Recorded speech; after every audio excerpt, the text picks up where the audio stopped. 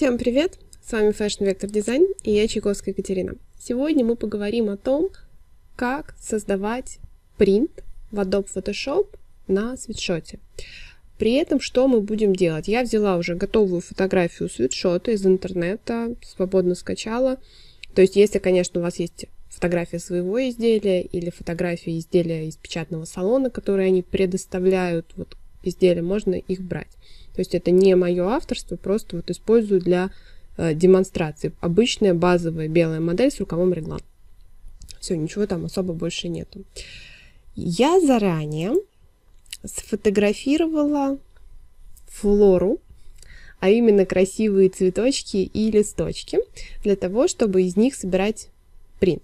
Соответственно, он будет полностью авторский, только природа мой как бы компаньон. Уже почистила листочки, видите, они без фона, а один оставила для данного видео, чтобы мы могли с вами совместно его почистить. Это программа Adobe Photoshop. Вот у меня фотография. Единственный минус того, что я нафотографировала, у меня это белые обои. И видите, они не гладкие. Идеально, конечно же, фотографировать на ватмане. Вот чистый белый ватман. Но у меня не было, поэтому у меня были обои. И когда у нас вот такое изображение, его можно чистить. Кто-то любит магнитным лассо, кто-то любит э, просто руками вычищать. Я работаю на ноутбуке, и у меня мышка под рукой. Планшета у меня сейчас с собой нету. И, в общем-то, в принципе, я чаще рисую в векторе в Adobe Illustrator, чем в Adobe Photoshop, поэтому мышки мне хватает. То есть здесь никаких супер заморочек не присутствует. Я сейчас буду белый фон выделять. У меня стоит стандартная настройка допуск 30. И начинаю щелкать по белому фону для того, чтобы выделить все, что у меня вокруг. Достаточно неплохо выделяется, все-таки обои у меня белые, и а, контрастные на них листики, тут все хорошо. Соответственно, вот она настройка, то есть у меня идет сложение, добавление к выделенной области, я аккуратненько все выделяю. Дырочки тоже. Я хочу получить просто листочек. Вот здесь всякие маленькие штучки, вот эти неприятные, мы потом от них избавимся. В принципе, смотрите, хорошо выделился листочек, ничего нигде у меня не выступает. Что мы сейчас делаем? Нажимаем правую кнопочку мыши, инверсия выделенной области. То есть я выделяла белый фон, а теперь у меня выделился, наоборот, листочек, поменялись местами, как позитив-негатив. Еще раз правой кнопочкой мыши, растушевка. Я обычно ставлю ну, 2 или 3 пикселя, оно дает более мягкий контур и лучше входит в фон. Правой кнопочкой мыши скопировать на новый слой. Где у меня эта штучка? Вот. Теперь базовое изображение я уберу, оно мне больше не нужно. Вот смотрите, у меня остались вот эти вот точечки. И здесь вот надо чуть-чуть подчистить. Соответственно, мы можем это сделать по-разному. Можно продолжить очистить, соответственно, волшебной палочкой, если она вам импонирует. Ну, что такое? Вот. Я нажала Ctrl-D, сняла все выделения, потому что было выделение, и у меня опять все заработало. Delete. И здесь вот за счет того, что я растушевку не поставила, оно немножко жестко сейчас себя ведет. Поставим растушевку в 2 и вот. Ctrl-D, снять все выделения. Нажимаю кноп кнопочку Z, это лупа, Z, Alt, оно удаляет. Так, смотрим. И вот здесь мне тоже не, не понравилось. Не до конца у меня листочек почистился. Вот, собственно говоря, вот эта чистка, это всегда самая длинная, самая нудная и самая рутинная часть работы, но ее нужно делать качественно для того, чтобы конечный результат вас порадовал. Поэтому запаситесь терпением, какой-нибудь любимый музыкальный трек, любимая аудиокнижка, либо даже кто-то умудряется фоном какие-то сериалы смотреть или фильмы, это как кому нравится. Вот, запасайтесь. и делайте чистку вашего изображения для того, чтобы у вас получилась такая вот красота. Я изначально холст сделала размером 250 на 150. То есть это мой а, размер принта. Можно его обозначить, например, размером А3 горизонтальным, размером А4. Там разные есть возможности. Я обозначила вот так вот. То есть он у меня 250 на 150. То есть 25 на, на 15 сантиметров. Не такой он большой, не такой маленький. Ну, в принципе, под стандартную такую вот печать. Если нужно будет, мы его немножко увеличим. Но можно сразу это прописать и обозначить. Сейчас э, перекину все листочки. Все, он больше не нужен. Сейчас начинается осень, поэтому всякой красоты разной много. И, конечно же, можно там и нафотографировать большое количество элементов, но, как правило, это занимает много времени на то, чтобы это все обработать, почистить, сделать. То есть это надо всегда закладывать. И не всегда это самая творческая работа, которую ожидают. Просто нужно запасаться терпением и ее выполнять. Так, вот еще один цветочек, а там уже у меня футболка. Так, все. Вот оно у меня все. В одном документе. Немножечко они у меня крупноваты, и это хорошо. Значит, у меня хорошее качество изображений. Так, я буду создавать такую зеркальную композицию от центральной оси. Она у меня будет расходиться. Соответственно, сейчас а, будем смотреть, на чем а, ее основывать и как нам ее лучше сделать. Что я сделаю? Нажимаю Ctrl-T и с шифтом немножечко сожму Ctrl-T. А, сейчас без шифта. А, в фотошопе поменялось. Раньше для того, чтобы пропорционально масштабировать в предыдущих версиях, у меня 20 версия фотошопа, а там, например, а, в CS6 нужно было нажать Shift, чтобы изображение пропорционально масштабировалось. Сейчас же наоборот, чтобы изображение пропорционально масштабировалось, ничего не нужно нажимать. Так, что у меня там такое вылезает? Почему оно такое большое? И вот здесь у меня какой-то... Вот. Вот здесь фон. Значит, что я сейчас сделаю? Я сейчас инструментом прямоугольное лассо вот так вот грубо выделю и скопирую на новый слой. Вот. А то, что было старое, уберу. Тогда у меня все будет верно. Да. Вот. Вот он мой листочек. Сейчас немножечко еще уменьшу размеры, для того, чтобы у меня все было пропорционально. Так, еще вот эта штучка мне не нравится. Она от чего? Вот, она отсюда. Сейчас мы ее удалим.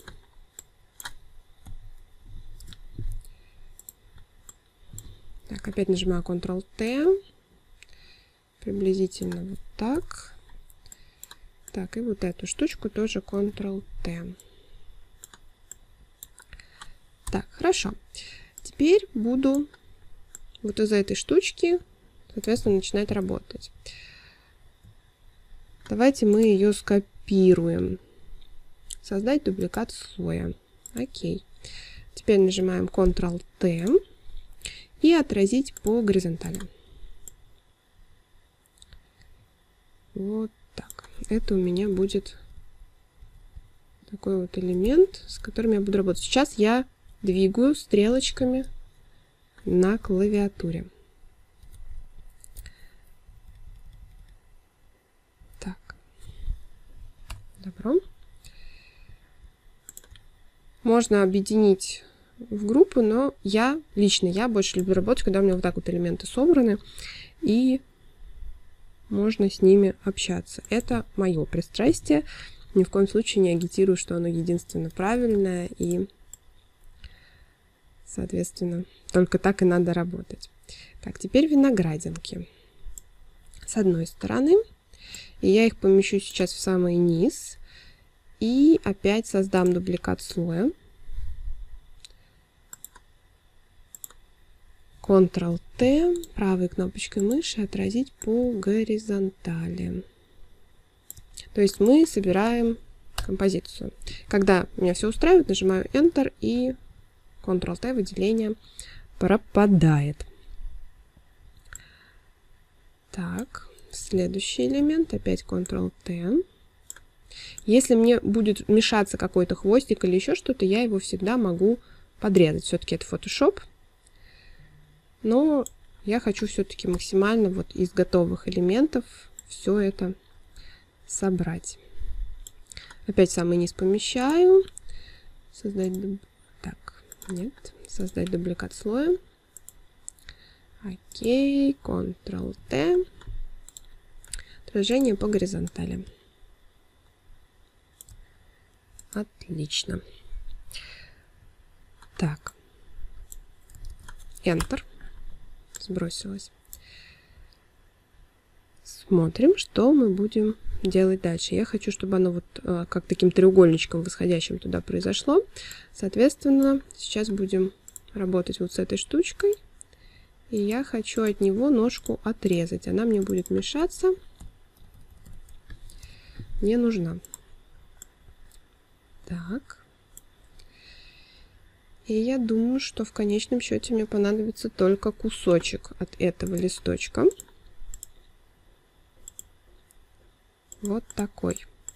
Соответственно, листочек я убивать не буду, ну, то есть от него отрезать. Я скопирую на новый слой для того, чтобы у меня появился новый элемент. Вот он, смотрите. И его бы нужно поместить на задний план.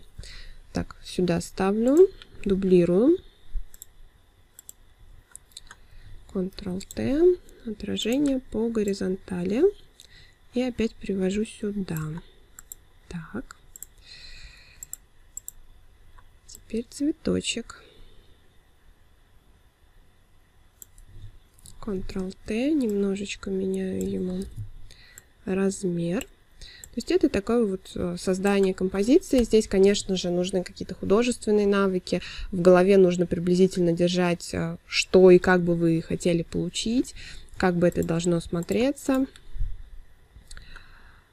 Сейчас я объединю эти два слоя, чтобы они у меня были едины. Так, не то объединил, по-моему.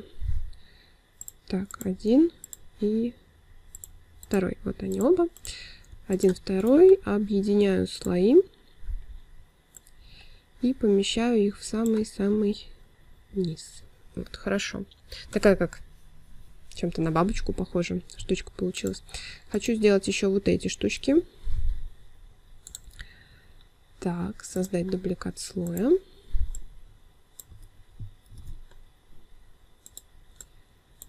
Не то. Вот это мне нужно. Вот. Ctrl-T. Поворачиваю. И вот сюда размещаю. То есть, видите, элементы, они еще располагаются один выше, один ниже. Соответственно, это все мной регулируется, как я хочу. Так, создать дубликат слоя. Ctrl-T, отражение по горизонтали и туда. Так, и можно еще сюда тоже вот э, цветочки, листочки добавить. Можно вот сюда добавить по цветочку, только совсем маленькому.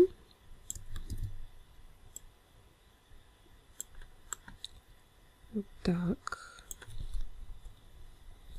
И еще раз Ctrl. Так, создать дубликат слоя. Ctrl-T, отражение по горизонтали. Если шифтом двигать, то оно у вас будет двигаться по горизонтальной или по вертикальной оси. Вот, у меня уже получилась такая достаточно интересная композиция. Что сейчас хочу попробовать? Хочу попробовать вот этот лист вот так подставить. Сейчас мы от него отрежем ножку. Ножка явно лишняя. Прям не нужна она. Я фотографировала максимально для того, чтобы все у меня сохранилось, а тут вот так вот. И сейчас мы его отправим в самый-самый-самый низ. Да. Вот этот листочек мы можем пока скрыть. Вот что у меня получилось. Давайте я его удалю, даже он мне не нужен. Теперь что я делаю? Я беру все слои, создаю на них дубликат. И правой кнопочкой мыши опять щелкаю, объединяю слои. Вот. Все, что осталось у меня сепарировано, я выключаю. Зачем я это делаю? То есть я считаю уже сейчас, на данном моменте, что я создала ту композицию, которая мне нравится. Ctrl-T, переворачиваю вверх ногами. И она как бы достойна того, чтобы дальше с ней работать. Но при этом я оставила как бы исходники по элементам для того, что если вдруг я захочу вернуться и что-то поправить, я смогу а, это сделать. В общем-то, вот такой вариант, это прям уже цветы, и можно их взять и разместить, например. Вот таким образом. Он намного крупнее. Сейчас я... мы с вами отступим и разми... разместим его соответственно на нашей футболке.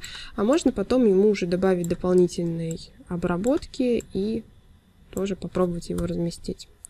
Ctrl 0 вот смотрите такая вот осенняя композиция. Я могу ее подогнать по размеру.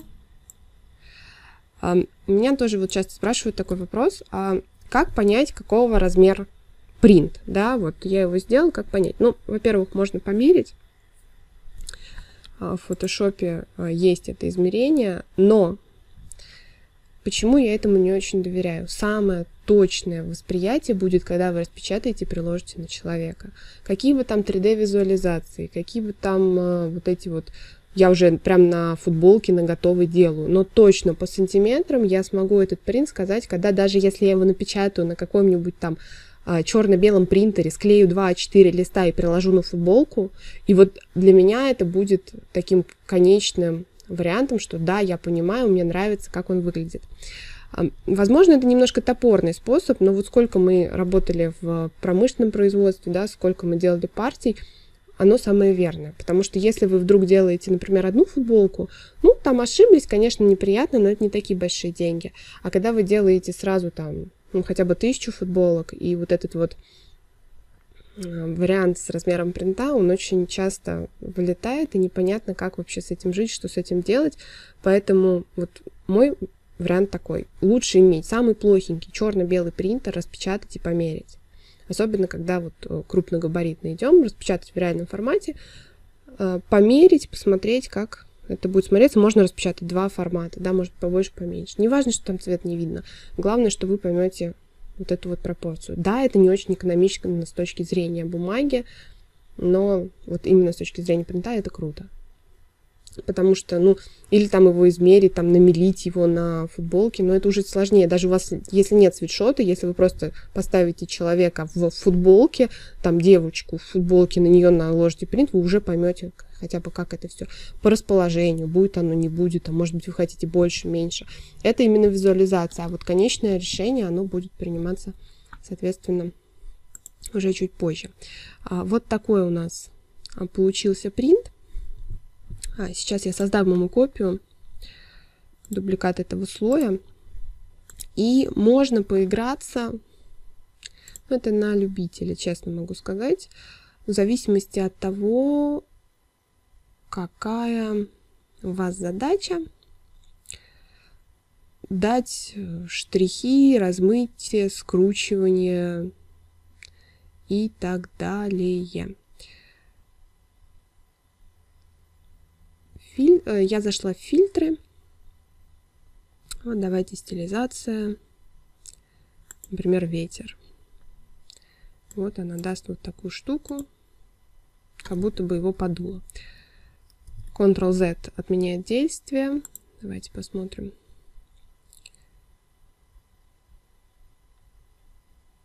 Другие варианты, вот через галерею фильтров. У вас сейчас откроется изображение, немножко компьютер думает. Ему нужно время, и мы будем видеть, как будет обрабатываться. Например, я хочу сделать, что это будут штрихи. Вот здесь можно это все регулировать штрихами.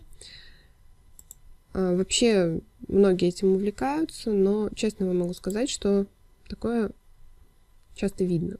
То, что туда применили фотошопный фильтр.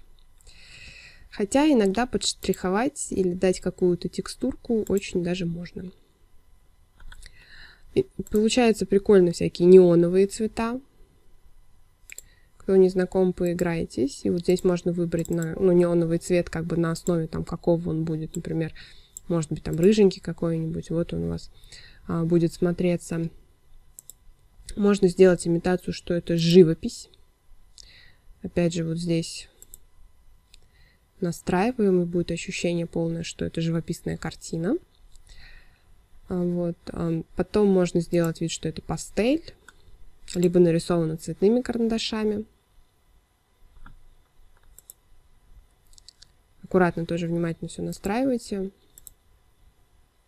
С точки зрения нажима. Здесь нет универсальной настройки. Под каждое изображение фильтры настраиваются в зависимости от того, как вы это видите, насколько вам это нравится или не нравится, да. Вот, рассеянное свечение, может быть, мозаика. Кстати, очень здорово аппликация иногда смотрится. Вот мозаика, да, вариант как в шите. А иногда можно прикольно сделать аппликации, будет ощущение, что этот рисунок вот нарисован. Количество уровней, простота краев, и вот этим все а, тоже регулируется, и создается ощущение, что это вот не была не фотография, а это был какой-то рисунок, который применили. Поэтому пробуйте эти варианты. Ну, кому-то они подходят по стилистике, кому-то они не очень подходят по стилистике. Ну, как бы вот так. Вот, да, смотрите разницу. Было, стало, было, стало. Возможно, это как такой более творческий вариант, и он тоже будет иметь место быть. Потом можно сделать цветокоррекцию, да, поменять что-то. Я бы попробовала по уровням посмотреть, сбалансировать больше. Возможно, добавить контрастности. Я люблю через верхнее меню. Я знаю, что там есть всякие горячие клавиши. Вот я люблю через верхнее меню заходить и с этим общаться. Вот. И уже такой более декоративный вариант применить, соответственно, на а, ваши изделия. Вот так можно работать с фотошопом.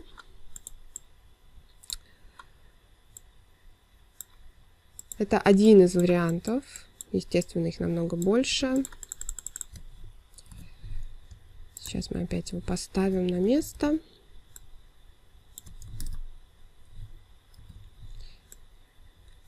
Сразу можно подобрать масштаб, да, более крупно, более мелко. Возможно, вы захотите расположить по плечам. И это тоже как бы будет неплохо. Ctrl-0 возвращает. Еще раз Ctrl-T. Вот смотрите, я расположила по-другому теперь. Один вариант, второй вариант. Тоже уже можете смотреть какой вам больше нужен. Потом можно поменять э, основу, можно ее сделать, например, белую, рыжую, черную. Ну, это уже в зависимости от того, как у вас печать будет, что это будет сублимация, а, или это будет э, шелкография. Я про типы печати рассказывала в видео, посмотрите. Пробуйте, очень классный момент, и, возможно, индивидуализация, кастомизация, когда вы клиенту авторские принты делаете, когда вы загружаете эти принты на банки или еще что-то, это абсолютно авторский принт, потому что я его сама сфотографировала, сама почистила, сама собрала, то есть ко мне никаких претензий, это полностью моя авторская работа, единственное, я взяла готовую толстовку, ну, я могу и свою сфотографировать, то есть здесь в толстовке сейчас особо ничего сверхъестественного нет, какого дизайна, просто белая толстовка. Вот. Смотрите другие видео, про принты много всего у меня интересного. Если появились вопросы, обязательно пишите, я с радостью на них отвечу. На этом все. До скорых встреч. Не забудьте подписаться на канал, поставить колокольчик, чтобы вам приходили уведомления. И написать комментарий, если у вас появились вопросы. А также поставить пальчик вверх, если вам понравилось видео. До скорых встреч. Пока-пока.